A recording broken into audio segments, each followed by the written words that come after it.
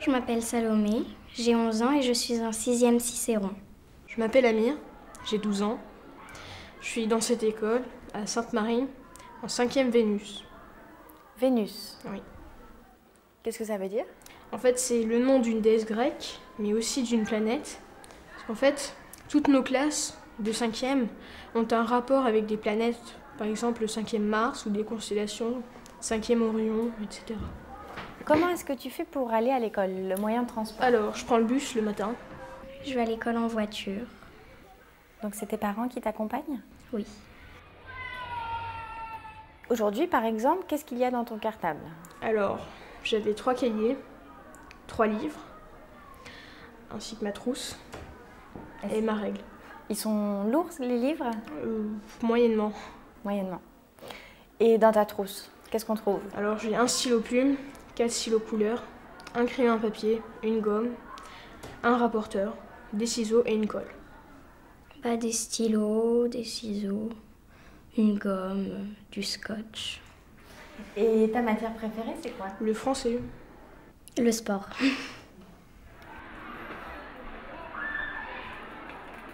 Est-ce que tu penses que ton emploi du temps, est-ce qu'il te satisfait? Oui. Oui. Oui. Plus que l'année dernière. Pourquoi? Parce qu'on commençait beaucoup plus tôt, alors que cette année, on a trois jours, on commence à 9h30. Et il est plus léger. Bah, euh, par exemple, aujourd'hui, c'était 8h45 midi, ça va. Mais demain, ce sera 9h30, 17h40.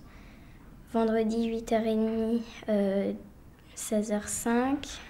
Lundi, 8h30, 17h40.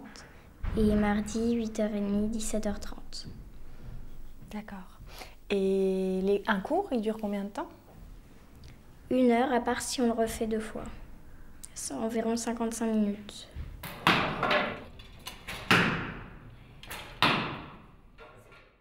Et est-ce que tu aimerais avoir plus d'heures de certaines matières? Euh, oui, de sport.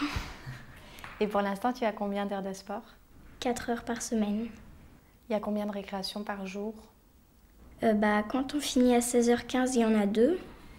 Et quand on finit à 17h40 ou 17h30, il y en a trois.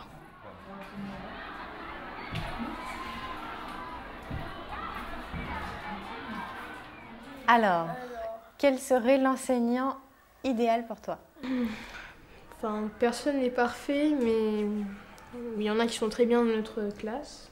On a beaucoup de professeurs, euh, pas idéal, mais très bien quand même. Mais l'enseignant idéal, euh, il n'existe pas. Alors, c'est quoi les... l'élève idéal?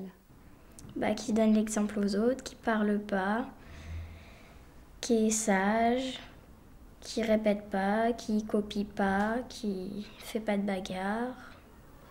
Est-ce que ça existe? Euh, bah non, parce qu'il y a personne qui est parfait.